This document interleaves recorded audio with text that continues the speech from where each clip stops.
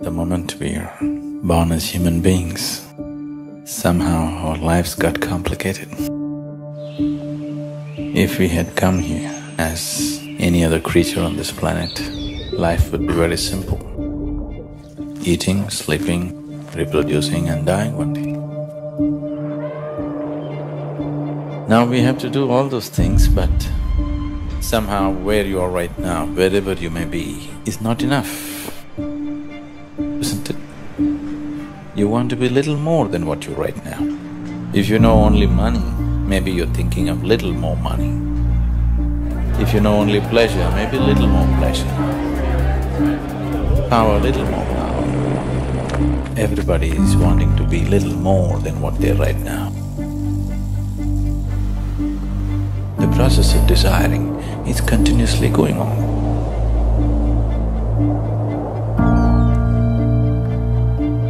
Whether you're going to work,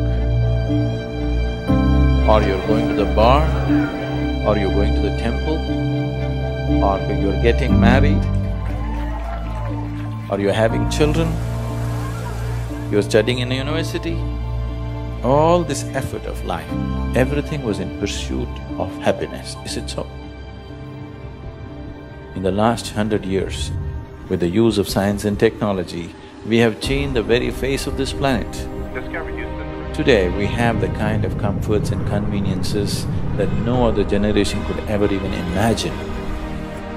We are definitely the most comfortable generation ever on this planet, is it so? But are we also the most joyful generation?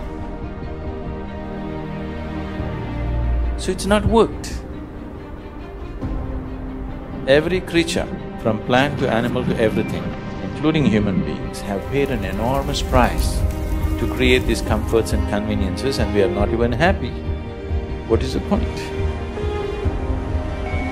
We have engineered the world today in many ways so that it functions better for us, isn't it? We have done nothing about ourselves. It's time to really look at it, isn't it? In the last twenty-four hours, how many moments of joy have you known? When you were five years of age, a child, how many moments of joy did you know in twenty-four hours? The whole equation has gotten reversed somehow. It doesn't matter where you are, you are sitting in a palace or in heaven, but your inner situation is not good, it doesn't matter, isn't it? This mind could have been a source of ecstasy, but this mind has become a source of misery for most people, tension, anxiety, depression, why? You just don't know how to handle it, isn't it?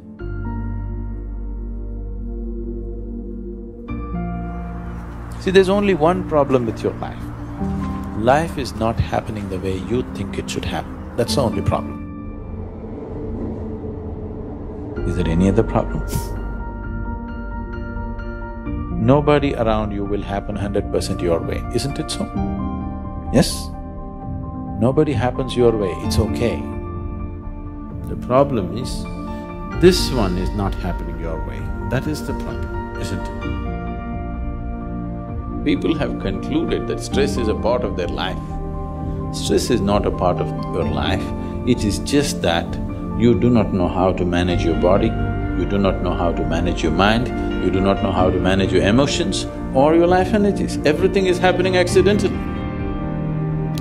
So if things happen your way, you have begun to understand in the world that you have to engineer it. The same with you. No inner engineering has been done for you, isn't it? Just by accident you're trying to happen. Now I'm talking about creating the right kind of chemistry within you where to be peaceful and blissful is just natural to you.